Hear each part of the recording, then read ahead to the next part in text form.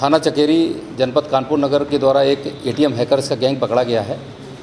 ये ATM hackers UP के अलावा मध्य प्रदेश में, महाराष्ट्र में एटीएम को हैक करके उससे पैसा निकालते थे। ये एटीएम को हैक करने के इनके दो तरीके थे। एक तो जो एटीएम का हुड होता है उसमें एक मास्टर की लगाते थे और उससे मशीन को ऑन ऑफ़ करके उससे पैसा निकाल लेते थे।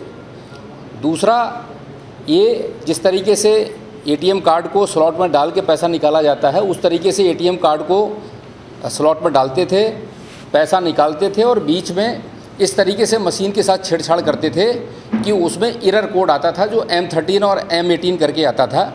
तो उससे ये लगता था कि वाद, जो एटीएम कार्ड होल्डर है, उसके अकाउंट से पैसा निकल गया है, लेकिन इरर है। तो बैंक में जाता था, कंप्लेन करता था और बैंक को वो पैसा वापस करना पड़ता था। ये करते क्या थे? ये दो तरीके से एक तो डायरेक्ट मकी मशीन के साथ छेड़छाड़ करते थे। दूसरा कई ऐसे लड़कों को अपने गैंग में आ, मिलाते थे।